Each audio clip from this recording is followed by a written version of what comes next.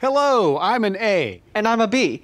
We both want what's best for Texans, and we agree on more than you'd think. For instance, I believe Texans should feel safe at school and church. So do I. That's why we need to harden the schools with metal detectors and guards, arm every teacher, and ban critical race theory. That's not actually being taught. As far as you know. How about raising the age to buy assault rifles to 21?